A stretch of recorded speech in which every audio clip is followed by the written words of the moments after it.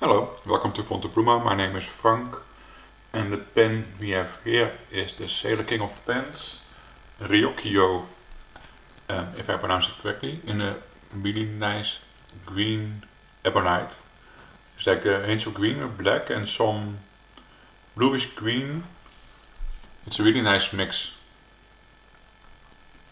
And this is the King of Pens size, so it's, it's a quite large pen and it comes with uh, the Naginata Togi uh, nibs in either uh, medium or in broad.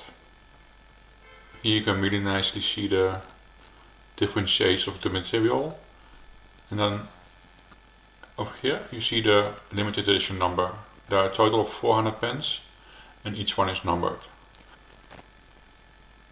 A gold plated clip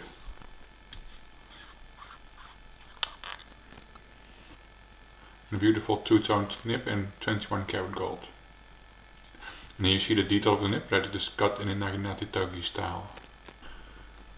This is a rather large pen and it is very comfortable to hold.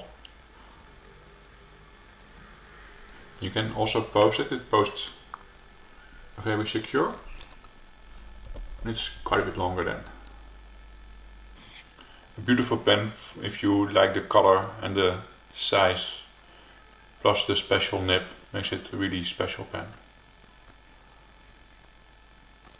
I hope you enjoyed it close up. If you have any questions, just let me know. Thank you for watching and bye bye.